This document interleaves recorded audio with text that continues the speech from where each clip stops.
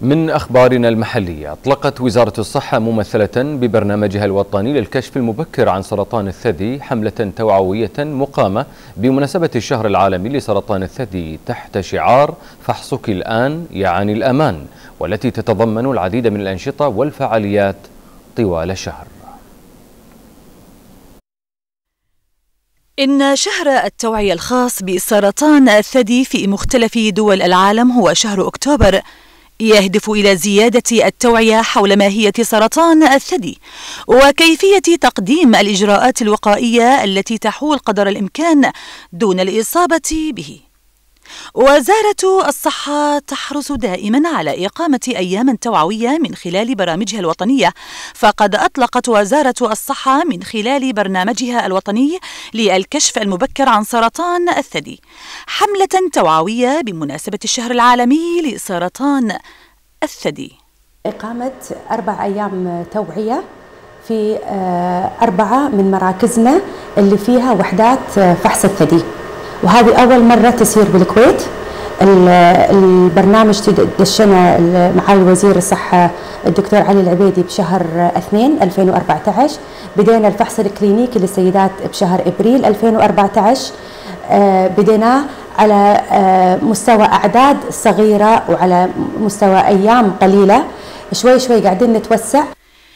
في هذا الشهر التوعوي سيتم استقبال السيدات لأعمال فحص الموموغرام دون موعد مسبق مع إعطائهن نصائح وإرشادات وكيفية الفحص الذاتي بالإضافة إلى توزيع كتيبات. أول يوم يوم 21 أكتوبر راح يكون في مركز العقيل الصحي علشان خدمة مراجعات منطقة الأحمدية الصحية.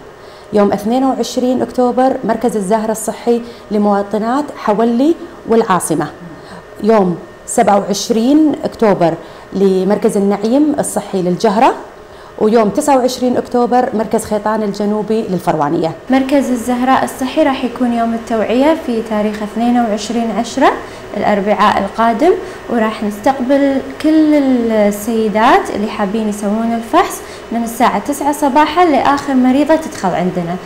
منذ انطلاق البرنامج الوطني للكشف المبكر عن سرطان الثدي استطاع القائمون على هذا البرنامج اكتشاف العديد من الحالات وتحويلها إلى مركز الكويت لمكافحة السرطان. آه، من شهر أربعة من من أول حالة إحنا سويناها لحد اليوم مسوين حوالي 900 حالة. منهم تم اكتشاف أربع حالات آه، مثبتة أنها سرطان ثدي.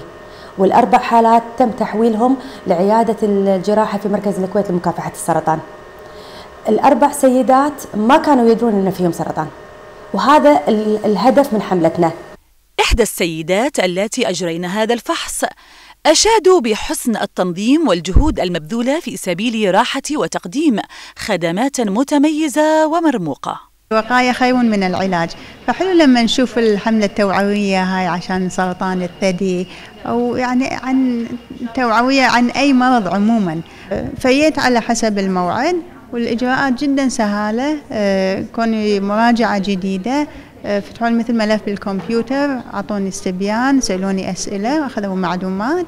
وبعدين آه، قالوا لي عن الفحص ودوني غرفة الفحص وقالوا لي إن أتوقع انه يكون في شوية ضغط الضغط ممكن يسبب شوية ألم بس راح يكون لفترة ثواني يعني. وبس وشو اسمه وسوينا الإجراء آه، خلصنا كله كله على بعضه خلال دقائق تأكدي سيدتي بأن الفحص الدوري للكشف المبكر عن سرطان الثدي يعتبر وسيلة أساسية للوقاية وضرورة ملحة وخطوة أولى للحد من الإصابة بهذا المرض.